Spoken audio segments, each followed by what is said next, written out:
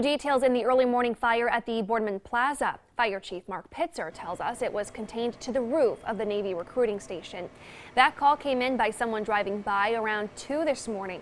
There is smoke and water damage inside the business and next door at Rondinelli Tuxedos. The fire is in the same section of the plaza as Save-A-Lot, which was forced to close for months last year when it was hit by extensive flooding. So far, there's no cause of the fire, but crews are working with the state fire marshal and police to figure it out.